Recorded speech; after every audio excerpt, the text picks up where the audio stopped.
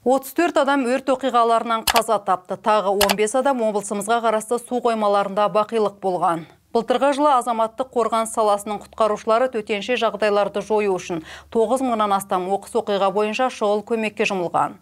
Облыс әкімдігінде өткен жиында төтенше жағдайлар департаменті басшысы қорғаныс бағытындағы жұмыстарын қорытындылады. Толығырақ Бақытгүл Матуова тарқатады.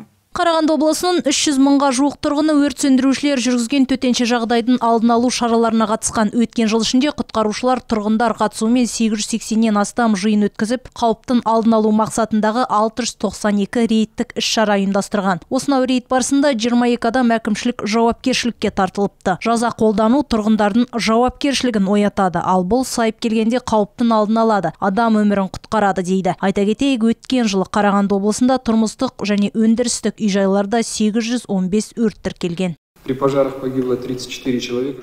Өрт оқиғаларында 34 адам қаза болды. Бұл көрсеткіш 2021 жылмен салыстырғанда 17,1 пайызға көп. Жарақат алғандар саны да 34 адамды құрады. Бұл межеде 16,3 пайызға артық. Өрт оқиғаларының көпшілігі тұрғын үйлерде орын алды.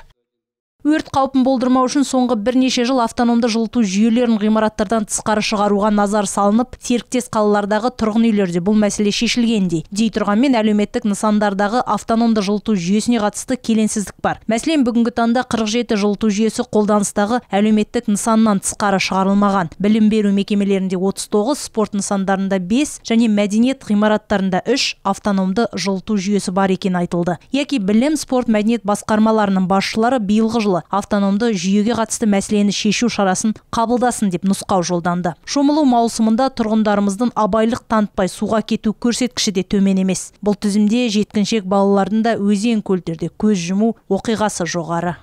В целях профилактики мы э, проводим. Судағы қауіпсіздік бойынша біздер төтенше жағдайлар мамандары жергілікті полиция қызметкерлерімен бірлесе қауіпсіз жаз атты акция өткіземіз. Мектептерде де сынып сағаттарын онлайн сабақтарын тақырыптық байқаулар да ұйымдастырамыз. Жазғы балалар лагерлерінің директорларын судағы қауіпсіздік ережесі талаптарын меңгеру мақсатында оқыттық.